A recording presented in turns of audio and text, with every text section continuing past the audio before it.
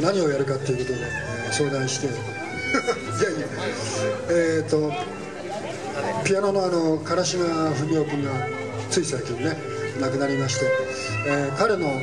追悼の意味を込めて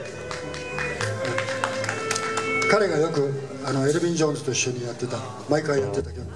EJ ブルースっていうのみんなでやりたいと思います。